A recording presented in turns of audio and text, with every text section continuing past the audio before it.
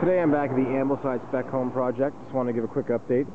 As you can see, we've uh, finished with our basement foundation and we've framed up our first level and pretty soon we'll start framing up our second level. We've also uh, continued working on the property and uh, done the foundation for the garage around back. I'm going to take a walk around the side of the house so you can see the progress from the other side as well.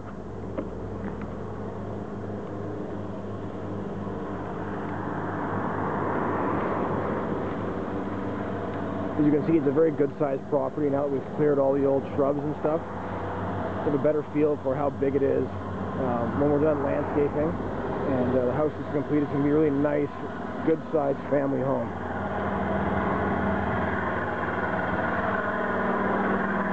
That there is the garage, the beginning of it.